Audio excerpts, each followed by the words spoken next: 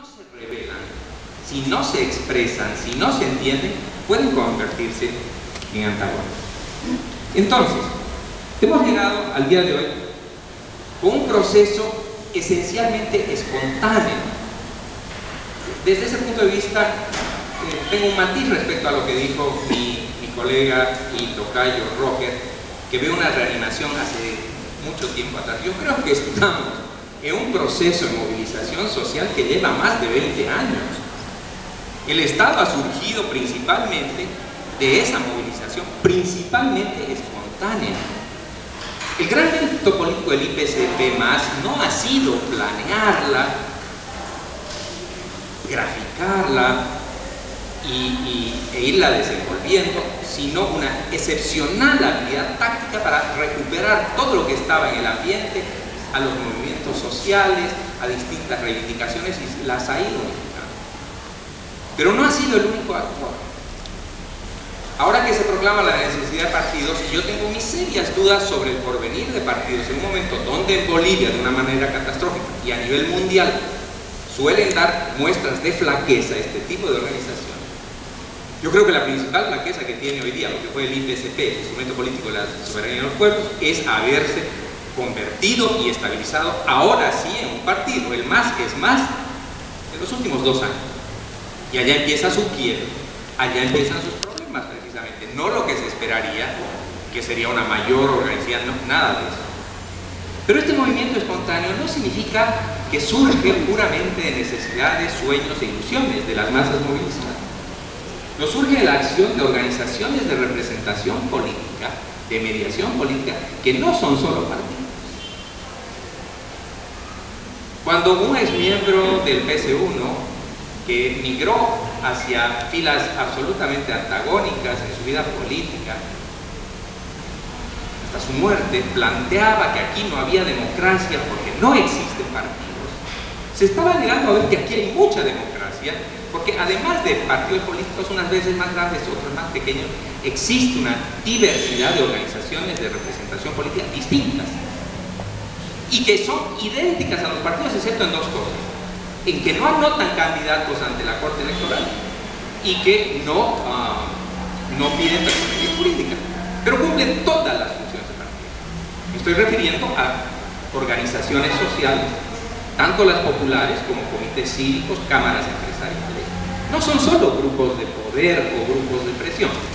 Agitan, emiten ideológicamente, organizan, convocan, movilizan medios de difusión social y por cierto algunas, un grupo selecto de ONG que tiene más influencia eventualmente en algunos momentos que toda una batería Entonces la espontaneidad fue el resultado de esa movilización, de esa gran demanda ciudadana, social, combinada con estos factores.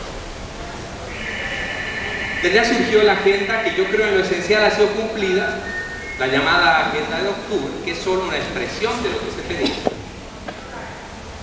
Porque yo creo que se puede apreciar qué es lo que se pedía si se toman tres planos, el económico, el político y el intelectual y moral.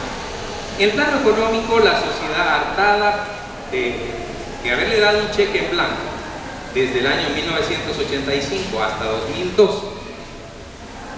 a las representaciones políticas convencionales, pidió en economía una recuperación de los recursos naturales y una mayor participación.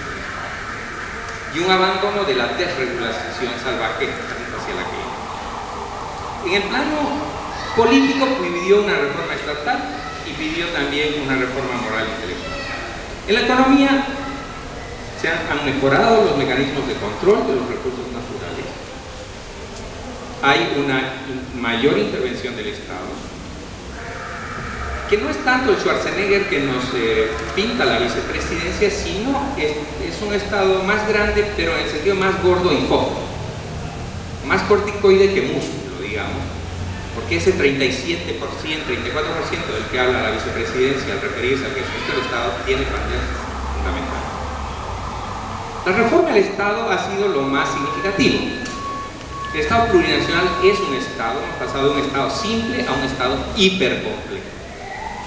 Un Estado hipercomplejo que reconoce pluralidad económica, democrática, jurídica, cultural.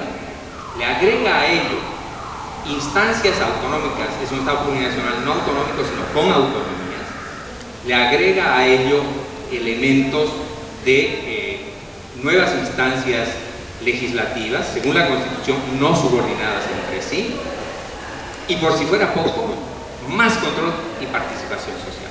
Un Estado hipercomplejo de muy difícil manejo.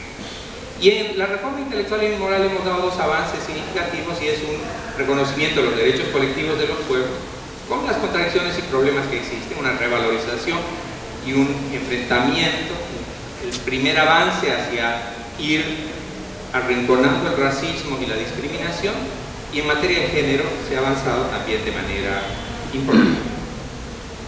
Este Estado tiene en su centro a estos sectores campesinos, a una nueva burguesía burocrática. El problema del TIMIS tiene que ver con esta composición, porque yo creo esa historia de que es coca no corresponde a los hechos. No, no se necesita medio millón de hectáreas para hacer coca, perdónenme. En el peor de sus tiempos se han sembrado 50.000 hectáreas de coca, ya por los 80. Bajaron supuestamente hasta 12.000 y ahora estaríamos en 30.000. Si hubiera 30.000 hectáreas más, explota el Estado. Yo no creo que quiera hacerse coca indiscriminadamente, no. Creo que la, la obsesión del gobierno tiene que ver con su origen de clase, el TIPNIS está visto principalmente como mercado de tierras. Yo creo que estos sectores campesinos más ricos están apostando a rentar y a vender tierra a brasileños, argentinos, menonitas, no importa que el TIPNIS no tenga una hagan algo. Creo que esa es la fuerza. No creo que el Estado brasileño como tal esté tan empecinado. No es verdad que el TIPNIS haga ningún eje eh, interoceánico. No va a ninguna parte el TIMNIS, perdón, el camino del TIMNIS. El camino vincula el eje central y el corredor interoceánico, Puerto Suárez, Tambo Quemado, con San Ignacio de Mojo, un ramal secundario del segundo eje completamente abandonado. Si fuese congruente el plan caminero del país, tendría que proponerse terminar el eje que existe, pero ya digo, ah, se puede circular por él. Un tercio, la mitad de la que es de Guayaramerín a Quemado. Entonces, eh, los brasileños estarán interesados por la OAS. Ya puede haber un negocio enorme y varios negocios, en fin. Pero sinceramente creo que tratar de explicarse esto porque un gobierno esté dispuesto a caer por el tamaño de la coima, como lo decía un, eh, eh, columnista de, de página 7, se criticaba y con él yo comparto. Creo que es estrecho. Hay fuerzas mayores. La renta de la tierra, la compra-venta de tierras o alquiler, ha hecho revoluciones como la inglesa en el siglo XVII. La primera revolución burguesa no la hizo la burguesía, la hizo una parte de la nobleza por el tema renta de la tierra. Es un poderoso aspecto. Y la pequeña burguesía, la clase media urbana que está metida allá adentro, está contribuyendo, esta nueva burguesía burocrática tiene dos ramas. Una es emisora ideológica, justifica todo, es obsecuente a muerte, es incapaz de hacer una crítica que debería ser salvadora y está construyendo otra vez un cacique, un, iluminado absoluto, que en los tiempos que vivimos está acortando el proyecto y lo está poniendo en riesgo.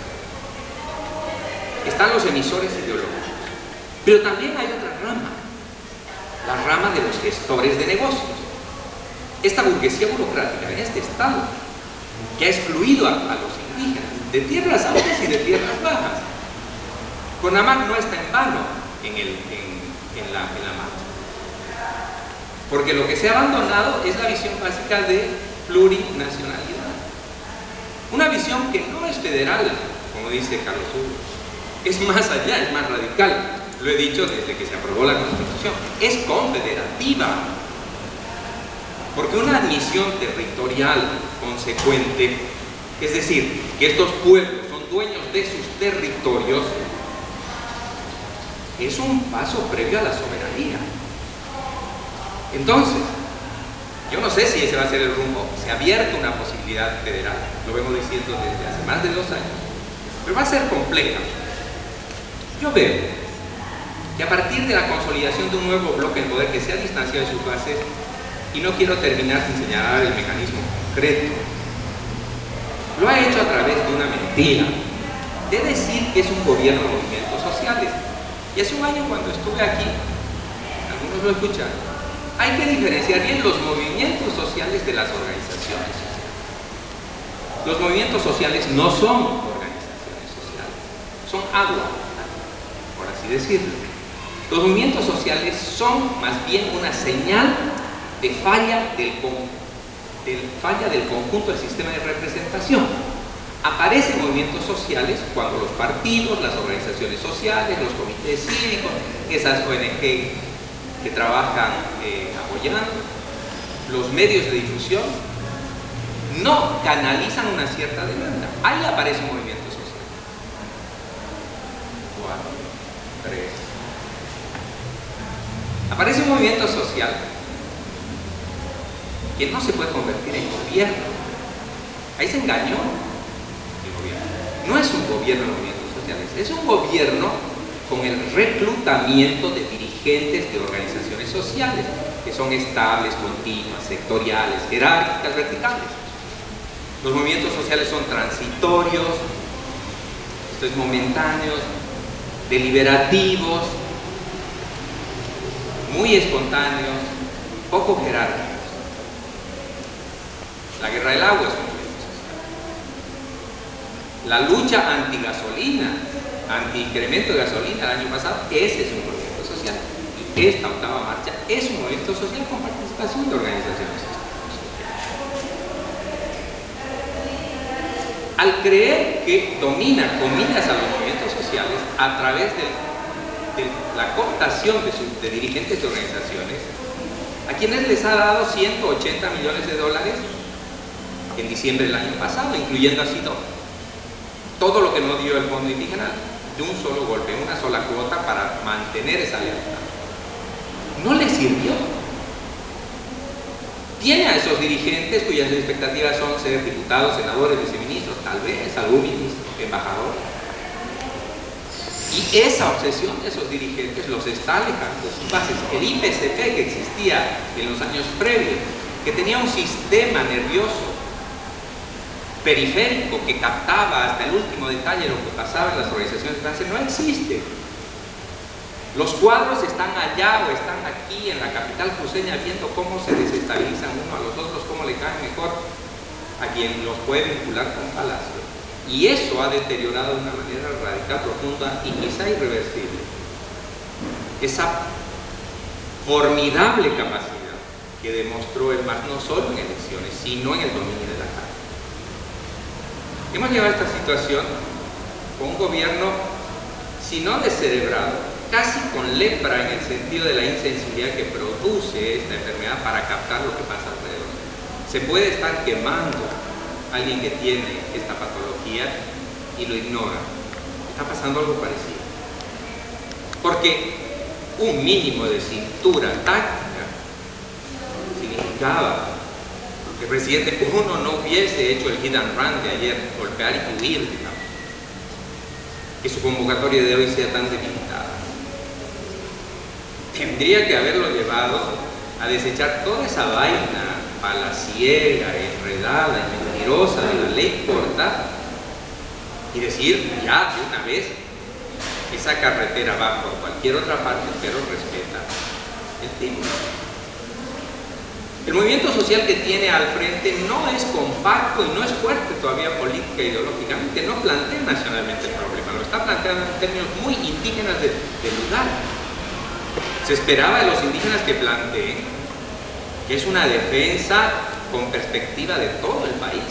Nos interesa económicamente preservar los bosques. Es una de las mayores riquezas, pero reales, efectivas, que tenemos para el desarrollo del país que los indígenas sinteticen la dualidad que tiene la Constitución, que dice que el Estado no es propietario de los recursos naturales, lo es el pueblo boliviano, y que compatibilicen eso con su territorialidad.